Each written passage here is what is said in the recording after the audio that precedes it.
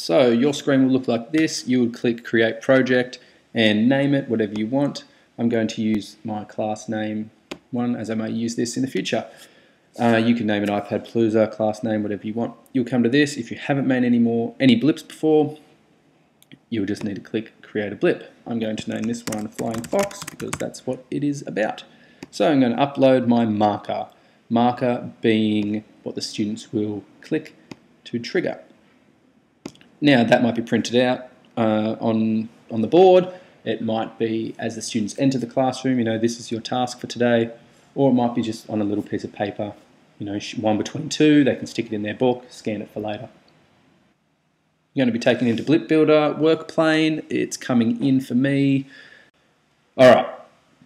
So in your download pack, on the you will see you have a symbol that looks something like this, and another one that looks something like that. You can save them from anywhere, open clip art, make your own. I made this one just in Keynote, a circle and a triangle.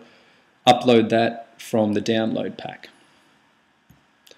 Once they are in, it's just a click and a drag. Click and drag those. You can make it however big you want and position them wherever you want on the screen. This is what the students will see when they scan and the blip has been activated. Now you can remember the Z is how far out from this from the piece of paper it is to give it that 3D look. I'm just going to take mine out a little bit further. Alright, that's what it'll look like. Gives it a bit of a 3D look. Okay, now to activate what's going to happen when they touch that. So select your sound icon and then this one here is interactions, add interactions. We're going to play a sound. Now I'm going to name it bat call and go from there. Now I've already uploaded mine but you would click upload and I've just saved that from SoundBible free royalty sounds, that sort of thing.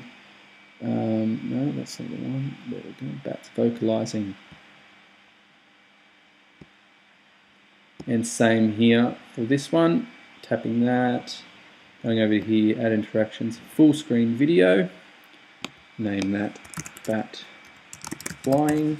You could do a YouTube video.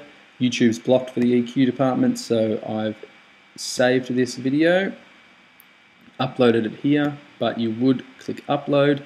Now, trick, down here under format, it says MP3 audio. I can't click my movie. All files. That tricked me, tripped me up a few times. Now, select what you want, confirm, and confirm again. Alright, so that's what it looks like. That's what's going to happen now. Alright, so what do we do next? So the kids are going to need to uh, look uh, for their task. So I'm going to put in uh, a text box. And I'm going to add in the text down on the right hand side. Task. I'm going to make it all bold. Uh, let's you can alter this however you want. I'm just going to quickly do do do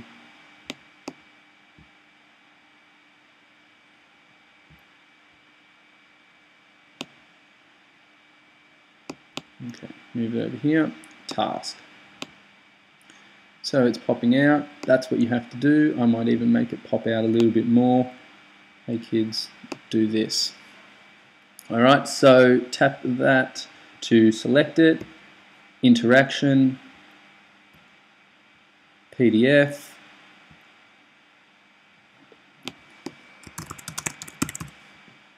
you could do it like uh, YouTube link, sorry, not a YouTube link, URL, or from your computer like I'm going to do, and you will do this, upload Flying Fox task, PDF document.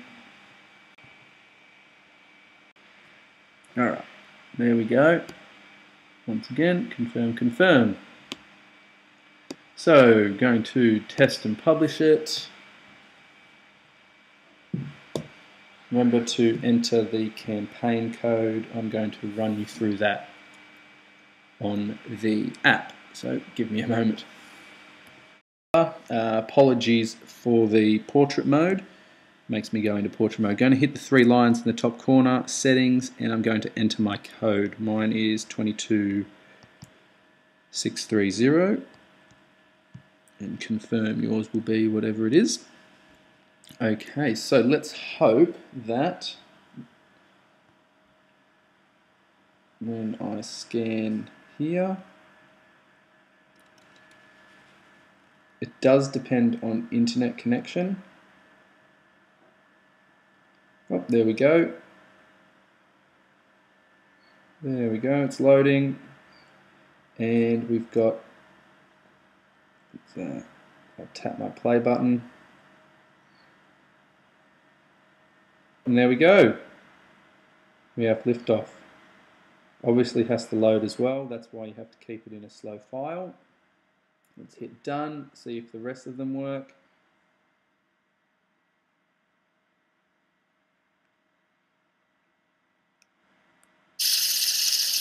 I'll turn my ringer on. Nice irritating noise for the kids. And hit my task button and then the PDF document will load successfully. Uh, we'll hit publish and we will make it live in all countries.